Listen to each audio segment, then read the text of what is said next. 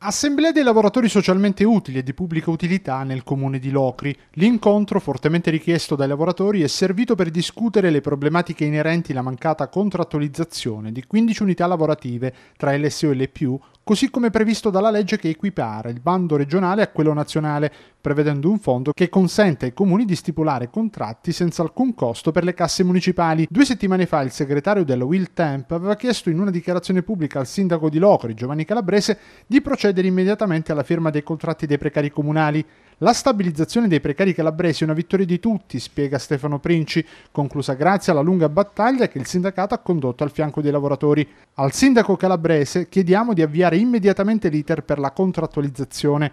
Con le sue osservazioni speciose fino ad oggi ha fatto già abbastanza danni. Ora basta chiacchiere e si vada a sottoscrivere i contratti.